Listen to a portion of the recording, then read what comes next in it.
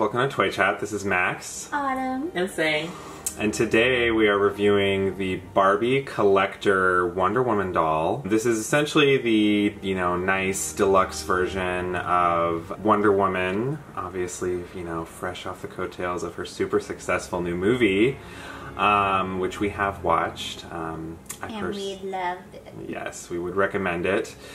It's a nice to finally see, you know, a quality DC movie in theaters. So yeah, Mattel, you know, of course has the rights to the DC characters, but yeah, this is essentially the higher quality, um, you know, collector's edition of Wonder Woman.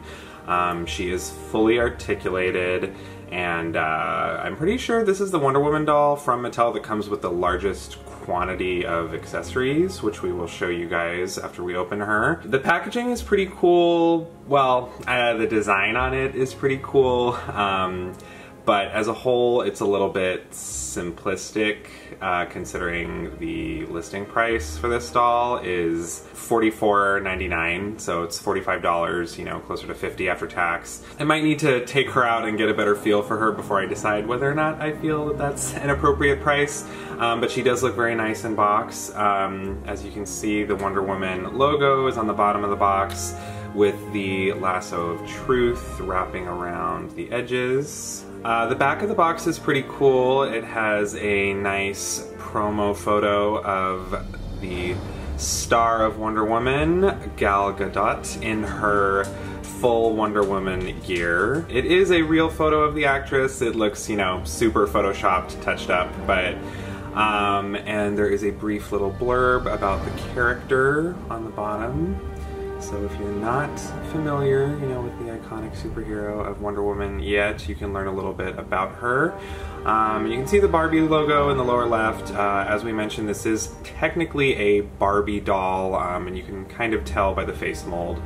Um, so this is pretty much it for the packaging. Um, I think the packaging, I think the artwork and the design on the packaging is nice. Um, it's just a little bit low quality in my opinion for you know kind of a pricey doll. Considering this is an almost $50 doll it would have been nice to have i don't know like a larger higher quality box with a sleeve or something like that.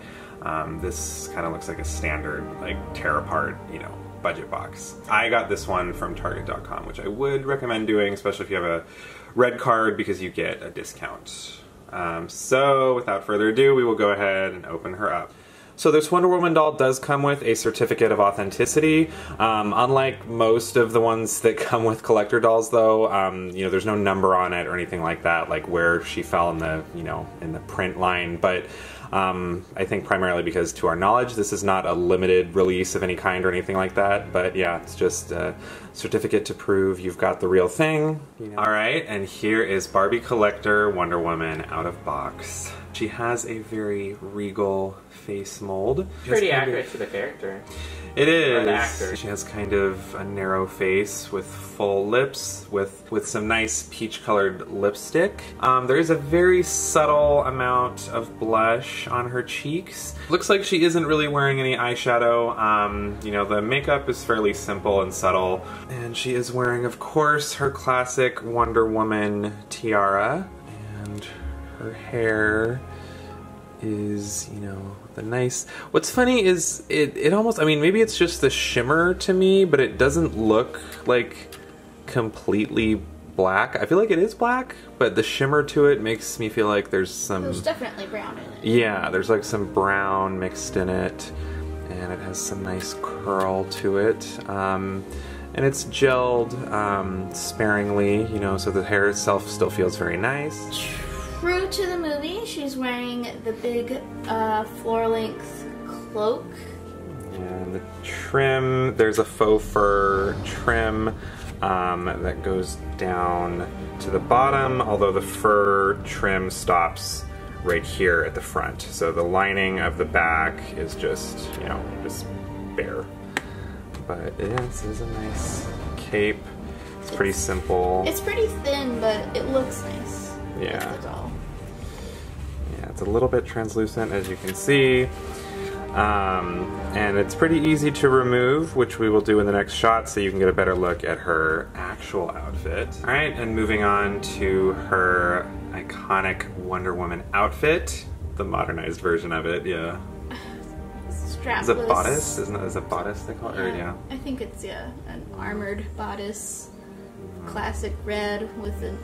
I'm assuming that's an eagle coming out of the top of it hmm. in gold. I wonder, and according to the movie's canon, what the W shape is supposed to signify. Yeah, I don't know. I mean, maybe it is supposed to be more straightforward because I know the S on Superman's chest is like, you know, not an S technically. So, It's a symbol for, for bravery. yeah. Hope, I. Even hope. Yeah, something like that. But I'm not. Sh- yeah, but I'm not sure if it's like the same situation for Wonder Woman or not. But um, and yeah, she has her usual, if you can even call this a skirt. It's like It's it's pleated. I don't know yeah, if it makes the full. yeah, what makes a it's skirt? very, very, very, very, very short. Um, you know, it's more just like a flap that comes out from underneath her bodice. What's interesting is that it doesn't look like her um, her uh, glutes are blue colored. She just has like underwear on underneath. Yeah, that's the thing too. Is underneath is pretty much yeah, just like a simple blue underwear strap. She comes with quite a few accessories, as you can see. God killer. The first being her God Killer sword, uh, which is very very cool. Um, yeah, I, I love like almost all of her accessories. Um, yes, and her cuffs, of course. What are those really called? Gauntlets? Um, I think it is the gauntlets. Yes, yes. So her nice, powerful gauntlets. Crossbody strap that she uses as a holster for the lasso of truth. Yes. Which, what's really cool about the lasso is in this particular release, it is an actual little, you know, string um, that I think resembles real rope a lot more than the other, you know, mostly plastic lassos that the other releases come with. And you can actually remove this and, I you don't know. recommend it though. Yeah, I don't think I'm going to do that, but, but you can do whatever you want with it. So if you wanted to create a scene of her wrapping it around someone, something like that, you could do so. Um, and yes, she has gauntlets, of course, on both arms. And her other very cool accessory is the shield. I have no idea if her shield has a name. I. Shield! Wonder Woman shield, yeah, but that is very cool as well. It's a really detailed design. It's very striking. Mm-hmm. Yeah, really. Got a nice gorgeous. finish Yeah, very pretty. Love Like that shield. gold. Yes. Yeah, right there. There's also some Like little. yeah, little armband with, again, you know, the Wonder Woman symbol on it. What's funny, I'm really curious in terms of this body mold. This is definitely not like the standard Barbie body mold. I think there's a little bit more Yes. muscle to her. So, yeah, to talk real quick about her articulation, um, she is fully articulated, but it's just like the standard full articulation, which is pretty much just shoulders, elbows, knees, and waist. and Or wrists. yeah, She doesn't have waist. uh, yeah, you, yeah, you can bend her to make her sit, but it's not. She doesn't have like a like a yeah like a torso or a breast joint. Yeah, moving on to her shoes, they're like boots. There. I know that there's like good specific names for these things. They're like the armored boots she wears in the movie. And what's cool is there's a little opening right here through some straps where you can see part of her feet, and with some armor along the top. And a band in the back to keep the shoes on, which is funny. I don't even know if that's necessary because they look pretty snug as is, but yeah, I like these shoes, and they have a very flat bottom, which makes it a little bit easier to make her stand on her own. I always appreciate that on Wonder Woman, that candy apple red. It's really nice.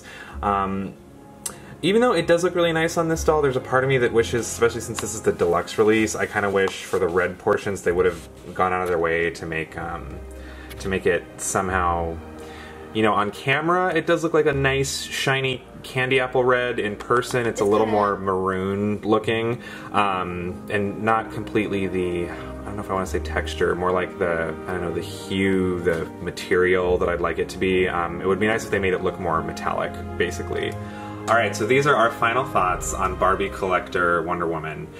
You know, just as the current Wonder Woman movie is a very special movie for a couple different reasons, um, this doll feels like a very special doll, um, in part because it is structured and comes with the accessories of um, you know, kind of heroism and like like an action figure, essentially, you know, which is usually in kind of nerd culture and superpowers, that kind of thing, which we don't get very often in um, doll releases. So I think I, I love that. I love the fact that I have a doll now that is, you know, kind of built to be put into action poses and has some really cool, like, epic looking weapons and.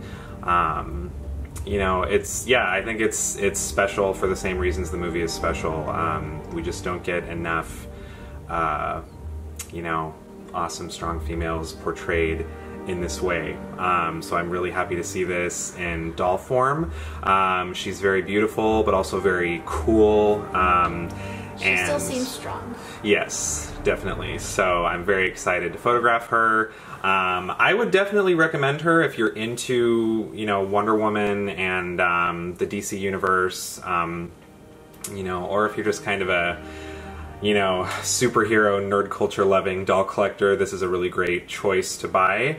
Um, I think the closest thing to a complaint that I have is, as I mentioned earlier, the packaging is a bit cheap considering how expensive the doll is, and um, I mean, granted, we've paid far more than $45 for quote unquote deluxe designer dolls, but um, yeah, I mean, for the most part, I actually, you know, when I look at the big scheme of things, I think it's a it's a relatively fair price. I just uh, and also something. Sorry, real quick, we did not talk about this. Um, she she comes with a stand, so y'all know what a luxury that is nowadays. we only get that in deluxe releases, it seems. So uh, she comes with a stand. The thing is, though, it's not a stand that you can attach her to at the waist. You have to attach it at her um, almost like yeah, like Upper her, thigh. her upper thigh. Um, you know, but if you want to, you could still display her in box. Um, but yeah, overall, this is this is a yes from me. Forty-five dollars. What That- can I say about forty-five dollars? That's where it gets me. It's like, It's for me. I like dolls with fabric. So I can understand Wonder Woman. sh- Her outfit's very form-fitting and it's armor. So I can understand that it's plastic. I wish it's removable. I wish it was somehow you can take it off and she has a normal body underneath. well, it's We not should- just straight up painted on though. It's molded and painted. Yeah, it's, it's not removable, but Yeah. yeah. my mind, you can't remove it. So, so yeah, it's a it is it's a it's a molded top in my much higher quality than your usual molded or painted on top. But yeah, Yeah. it's, yeah. Um, so, I mean, I wish if it that was the case, they would take they've taken more time, just like you know, take more time into you know painting it better. That red is very different from what she wears in the movie. Like this one's more like a cherry red. In the movie, is a darker kind of like uh, metallic red. So, but it comes off a little cheap to me. You know what's funny is like I'm complaining about forty five dollars, but my main point is I'd rather pay like hundred dollars and get all the things that we've been complaining about. Oh yeah, totally. I think I still love the idea so much. She, I, to me, she's not a collector doll. She's more of a enthusiast. What's the term? Enthusiast. Enthusiast? Yeah, like a for someone who's into Wonder Woman who wants to get a nice doll. I would not say she's a collector's doll where you display her and and like wow, this looks like someone hand painted her, put her together kind of deal. Yeah, I mean to me this feels kind of like 30 35 dollar doll Mhm. to me, but Yeah. Um, so I still I'm- appreciate it. Yeah, I mean, definitely. I mean, it's weird because, like, then, like, you look at Batman and Superman, they have clothing. They have clothing. Do they really? Yeah, there's the there's cloth there's there's cloth on them.